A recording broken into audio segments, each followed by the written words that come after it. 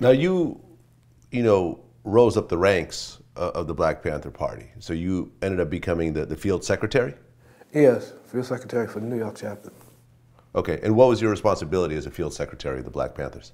A field secretary had to deal with, um, with, with working with the um, organizers for the party and the cadres for the party that were dispersed, that were in a particular general area. And, um, and meeting with them, resolving contradictions and, and stuff like that. Also, uh, I had to do the regular run out to the airport to get the newspaper, which was a primary uh, task of the party, was the distribution of the Panther newspaper. And, um, and we had a lot of problems with that because uh, the FBI had a problem, had a, um, a program to, to sabotage the distribution of the newspaper.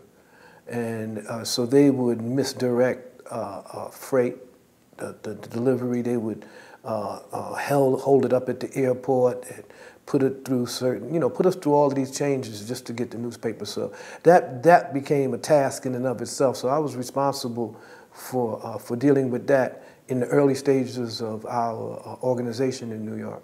How, how did you know Afeni Shakur during this time?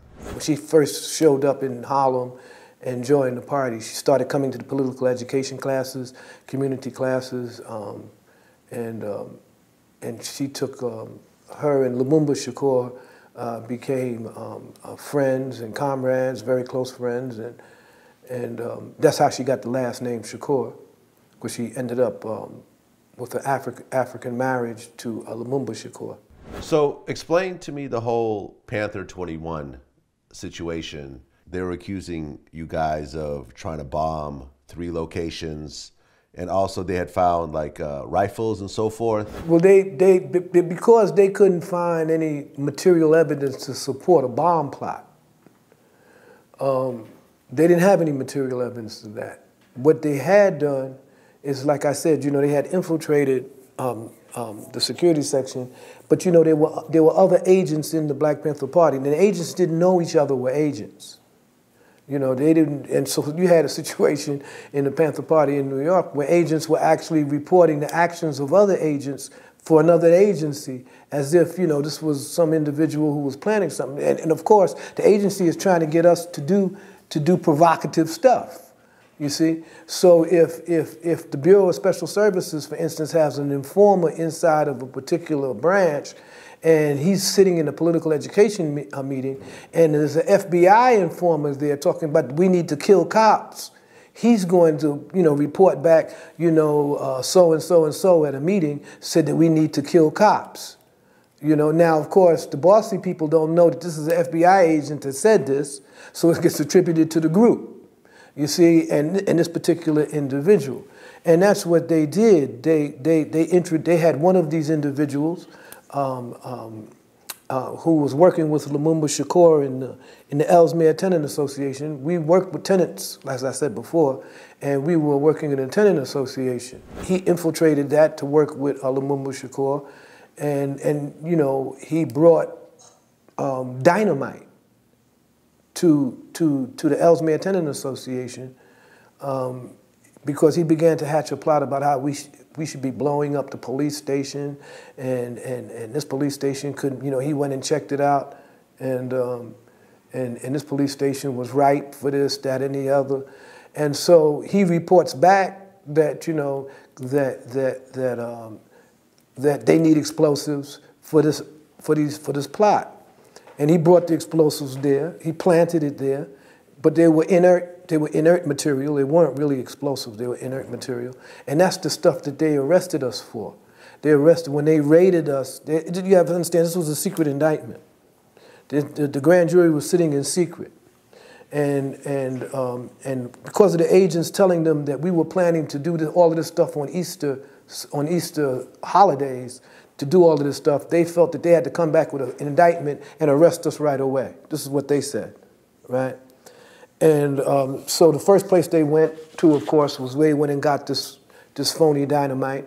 And of course, we were members of the Black Panther Party, so to expect us to have um, our homes and our houses not defended or not have um, arms to defend ourselves was pretty ludicrous. So the weapons that they got from our, from our individual apartments didn't constitute the type of arsenal that would, you know, that would, that, that would be employed to carry out this grand 200 count conspiracy you know, to ambush police and blow up department stores, blow up the train stations, you know, shoot, shoot, uh, uh, shoot up City Hall or Wall Street. All of these accounts in the indictment.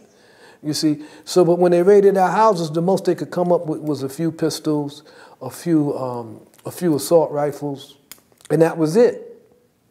And so they had to go with that, and um, and so this is you know they would try to amplify this in the media like this is the stuff that we had. But the but the most um, uh, uh, damning uh, evidence that they had was these phony, phony explosives. This was the only thing that spoke to the conspiracy. And it was the police that introduced the explosives. It wasn't us. And that came out in the trial, and I think that that was one of the main reasons we were acquitted. Right. So I guess there was 156 charges. Yeah, and like all of them were dropped. Yes. Well, we, we, yeah, we, we, were, we were acquitted on all charges. They actually went to the jury, and the jury read 156 times not guilty. So yeah, and, and they came to that conclusion in 45 minutes after sitting for trial, sitting in a trial for almost eight months. Right. This was actually the most expensive trial in New York State history at the time. Yeah, at that time, the longest and the most expensive. And, and, and people don't know it, but that, you know, I mean, we know it now, but the, the, the uh, district attorney and the, and the judge used to meet after court every day to determine how they were going to handle the case the next day. They would meet in private, sit down, you know, kick the willy over, over some coffee and a drink, and say, so now how are we going to handle these, these jigaboos next time? You know, and uh, he says, well, this is what I'm thinking. And so what they did in, in the trial all of the evidence that they submitted was already vetted by the judge before he even made a decision in the case officially from the bench. Like, for instance, in our trial, um, I, this is something I've been telling the young folks in Black Lives Matter today. One of the things that they did in our trial is they introduced a movie in our trial.